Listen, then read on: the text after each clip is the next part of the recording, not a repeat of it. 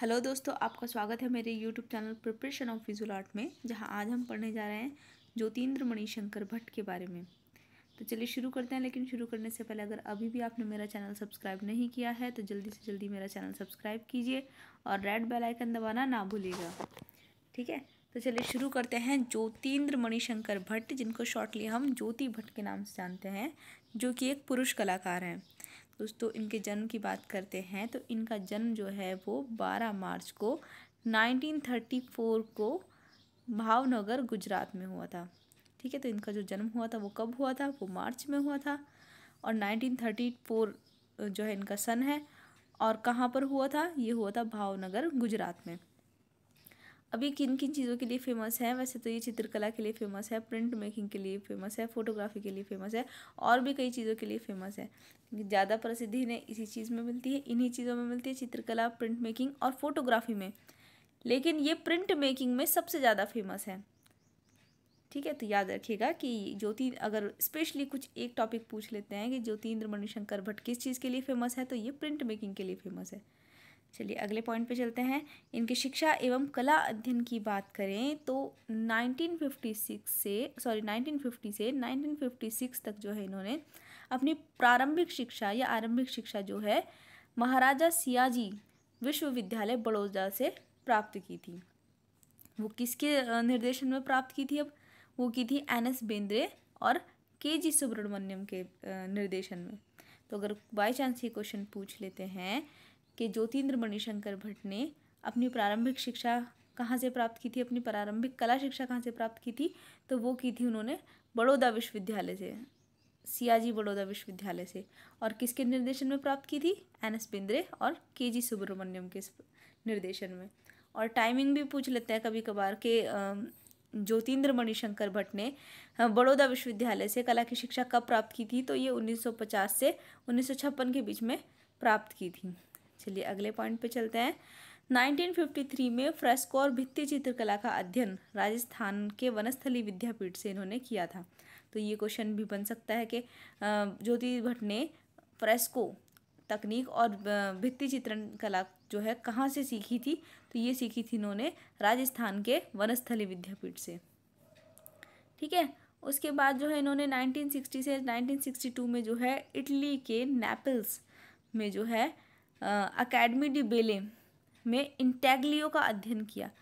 अब academy D बेले में जो है इन्होंने इंटैगलियो का अध्ययन किया। तो ये क्वेश्चन भी आ सकता है कि यहाँ क्वेश्चन बनता है कि इन्होंने इंटैगलियो का अध्ययन कब किया।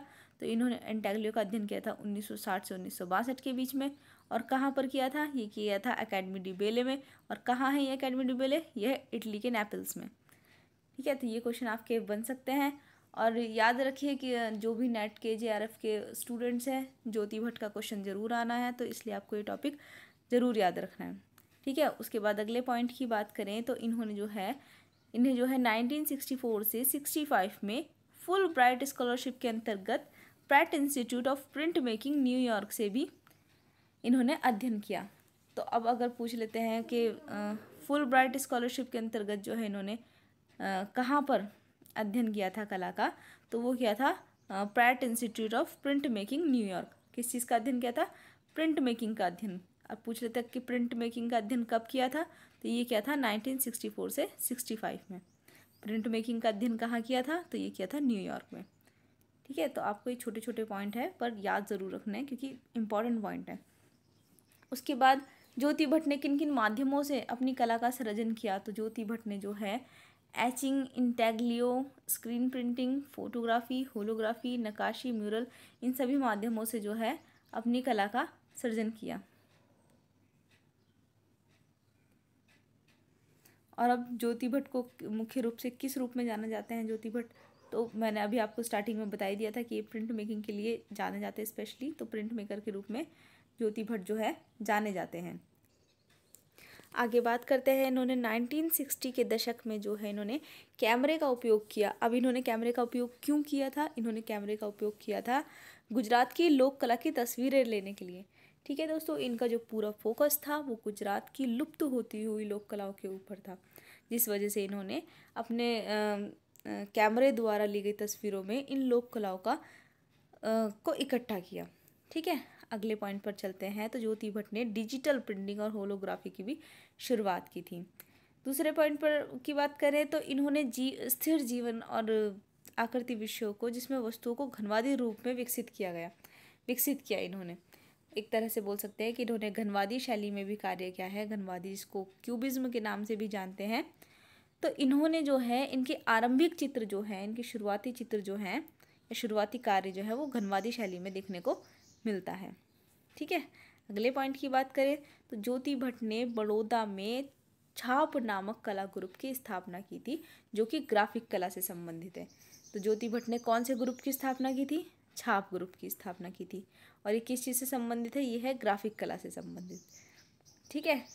अब आगे इनके पुरस्कारों की बात करें तो दोस्तों इनके पुरस्कार इतने ज़्यादा हैं कि शायद यहाँ लिखने के लिए पेज बहुत कम है मेरे पास। वैसे तो खैर पेज कभी कम पढ़ते नहीं है, लेकिन इनके पुरस्कार बहुत ज़्यादा हैं। पर फिर भी मैंने थोड़े बहुत कुछ कुछ चुनिंदा पुरस्कार यहाँ लिख दिए ठीक है? तो पहले पुरस्कार की बात करें तो राज्य प्रदर्शनी ग्राफिक प्रिंटिंग के लिए इन्हें प्रथम पुरस्कार प्राप्त हुआ। उसके बाद 1957 से 59 तक इन्हें भारत सरकार द्वारा कला विषय की राष्ट्रीय संस्कृति छात्रवृत्ति प्राप्त हुई। उसके बाद 1961 से 62 में इन्हें इटली सरकार की छात्रवृत्ति प्राप्त हुई। 1961 से 62 में जो है इन्हें इटली सरकार की छात्रवृत्ति प्राप्त हुई थी जिसके कारण जो है इन्हें मैंने अभी बताया था पीछे एक आ, कला का अध्ययन किया। वो कौन सी कला थी? वो थी इंटैग्लियो। इंटैग्लियो का अध्ययन इन्होंने नाइनटीन सिक्सटी वन से नाइनटीन सिक्सटी टू में किया था इटली में। ठीक है? उसके बाद जो है इन्हें राष्ट्रपति का स्वर्ण पट्टिका पुरस्कार भी मिला था, वो मिला था नाइनटीन फिफ्टी सिक्स में। तो इन्हें स्वर्ण पट्टिका पुरस्कार कब मिला था? नाइनटीन फिफ्टी सिक्स में। ठीक है? आगे ललित कला अकेडमी गुजरात द्वारा गौरव पुरस्कार भी इन्हें प्राप्त हुआ। और अगले पॉइंट की बात करें तो बड़ौदा विश्वविद्यालय के चित्रकला विभाग के रीडर पद पर भी ये आसीन हुए। उसके बाद 1964 से 65 में फुल ब्राइट स्कॉलरशिप के अंतर्गत ये न्यूयॉर्क गए। ये और वहाँ इन्होंने न्यूयॉर्क में प्रिंट मेकिंग का अध्ययन किया, ठीक है? न्यूयॉर्क गए और वहाँ पर इन्होंने प्रिंट मेकिंग का अध्ययन किया। उसके बाद अगले पेज पर चलते हैं तो एक और इनका वो है पुरस्कार जो कि मैं बताना भूल गई। दोस्तों, इन्हें जो है 2019 में पद्मश्री से भी पुरस्कृत किया गया, ठीक है? पद्मश्री से भी जो है इन्हें 2019 में नवाजा गया। उसके अलावा जो है, इसके अलावा जो है इनको जो है, डाक टिकट डिज़ाइन के लिए भी पहला पुरस्कार प्राप्त हुआ। तो डाक टिकट डिज़ाइन के लिए जो इन्हें पहला प्रथम पुरस्कार प्राप्त हुआ तो वो कब प्राप्त हुआ था? वो हुआ था पच्चीसवीं वर्षगांठ पर। किसकी पच्चीसवीं वर्षगांठ थी? ये पच्चीसवीं वर्षगांठ थी भारत की स्वतंत्रता की। तो भारत की स्वतंत्रता पर भी जो है ने पच्चीसवीं वर्षगांठ पर डाक टिकट डिज़ाइन के लिए प्रथम पुरस्कार प्राप्त हुआ था। ठीक है? तो चलिए आगे इनके चित्रों की बात करते हैं। चित्रों। इनके जो प्रमुख चित्र हैं, इनका प्रमुख चित्र है कलावृक्ष, देवी, प्रकृति, राम राम, हम हिंदुस्तानी हैं, living wall, man under the sky self portrait दोपहर की चाय मन ब, मोर बना। तो ये इनके कुछ प्रमुख हैं। आप मैं एक बार फिर से इन्हें रिपीट कर देती हूँ। आप चाहे तो मेरे साथ साथ भी बोल सकते हैं। कला वृक्ष देवी प्रकृति राम राम हम हिंदुस्तानी हैं। Living wall man under the sky self portrait दोपहर की चाय मन मोर बना। तो ये इनके कुछ प्रमुख चित्र हैं। वैसे इनके चित्रों की गिनती भी बहुत ज़्यादा है, चित्रों की संख्या भी बहुत ज़्यादा है, पर कुछ जो फ़ेमस चित्र होते हैं, वही हम आपके समकक्ष रख देते हैं। उसके बाद एक दो चित्र यहाँ जो कि मैंने शो भी कर रखे हैं। देवी, देखिए दोस्तों, ये वाला जो चित्र है, ये देवी वाला चित्र है। दूसरा चित्र है वर्षा ऋतु। ये वर्षा ऋतु चित्र है, जिसमें एक फेस दिखाया हुआ है और मस्तिष्क में, इस फेस की जो मस्तिष्क में एक मोर बना हुआ है। और मोर की पूँछ में जो बोल देते हैं, उसमें कई मौसम दिखाई दे रहे हैं तो इसलिए इसका नाम शायद वर्षा ऋतु रखा हुआ है। उसके बाद ये जल थल नभ, ये वाला चित्र जो है जल थल नभ है। इसमें मछलियाँ भी दिखाई हुई हैं, जो कि पानी के अंदर होती हैं। इसमें कमल के फूल भी दिखाए हुए हैं, जो कि पानी के बाहर दिखाई देते हैं। उसके अलावा इसमें पक्षियाँ भी उड़ते हुए दिखाए हैं, और इसमें जो है, इन्होंने सन भी दिखाया हुआ है इस जगह पर। ठीक है? तो ये जल थल नभ इन्होंने चित्र दिखाया है, जिसमें सब चीज़ें दिखाई देती हैं चित्र में। उसके अलावा लास्ट चित्र है इनका forever together forever together जो है इनका ये वाला चित्र है, जिसमें दो व्यक्ति एक साथ हैं, दो महिला पुरुष। ठीक है, अगले पॉइंट पर चलते हैं। तो ज्योति भट्ट का इकट्ठा किया गया सबसे अच्छा कार्य कौन सा है? तो ज्योति भट्ट का इकट्ठा किया गया सबसे अच्छा कार्य फोटोग्राफी दस्तावेज़। वही जो मैंने आपको बताया था ये जो है, बड़ौदा विश्वविद्यालय से संबंधित है। जो इनका फोटोग्राफी दस्तावेज़ है, ठीक है? उसके बाद इनकी चित्रों की बात करें तो इनके चित्र कहाँ कहाँ पर संग्रहित हैं? देखो दोस्तों, इनके चित्र बहुत सारी जगहों पर संग्रहित है, भारत में भी और विदेश में भी इनके चित्र संग्रहित है, पर कुछ नाम जो आते हैं खास खास वो मैंने यहाँ लिख दिए हैं। ठीक है तो इनके जो चित्र फ़ेमस हैं, the Museum of Modern Art New York में फ़ेमस है। इसके अलावा the Smithsonian Institute, Washington DC में इनके चित्र संग्रहित हैं। इसके अलावा द ब्रिटिश म्यूज़ियम, लंदन में इनके चित्र संग्रहित हैं और the Museum of Art and Photography, Bangalore में इनके चित्र संग्रहित हैं। ठीक है दोस्तों तो ये था ज्योति भट्ट और उनके बारे में कुछ चीज़ें।